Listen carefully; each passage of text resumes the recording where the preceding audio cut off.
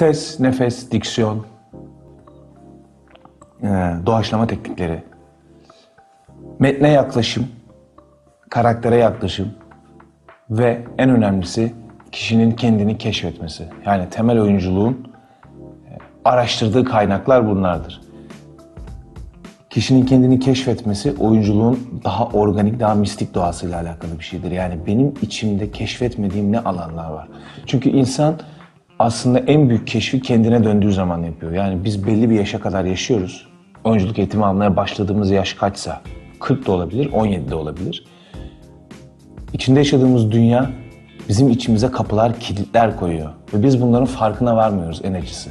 Oyunculuk eğitiminin temeli bu kilitleri açmaya yöneltir kişiyi. En öncelikli olarak. Yani benim bu duygumu çıkarmak için mutlaka atıyorum annesini öldüren bir çocuğun duygusu. Lalettayin bir örnek verdim şu anda. Şimdi oyunculuk öğrencisi temelde ilk bununla karşılaştığı zaman yahu ben bunu nasıl hissedeceğim? Ben hiç annemi öldürmek istemedim ki diyor.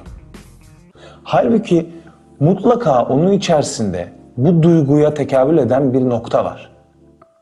Temel oyunculuk eğitimi öğrenciye, oyuncuya o noktayı buldurtur. O noktayı araştırır. Duygusal anlamda budur. Daha sonra bu bulunduktan sonra diğer nokta bulunur, diğer nokta bulunur, diğer nokta bulunur. Karaktere, oyuna, oynanacak olan e, meseleye göre bu çeşitli noktalar zaman zaman zaman bulunur ve bu biten bir keşif değildir zaten. Oyuncu ölür, keşfi o zaman biter.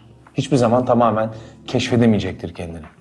İkinci ve en önemli yanı da tabii ki teknik eğitimdir temel oyunculuk eğitiminin.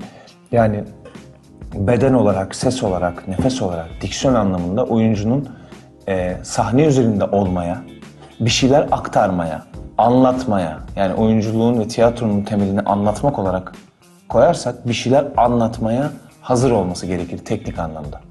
Oyunculuk eğitiminin en önemli ikinci özelliği de budur. Teknik bir gelişim, teknik bir metodoloji sağlar öğrenciye.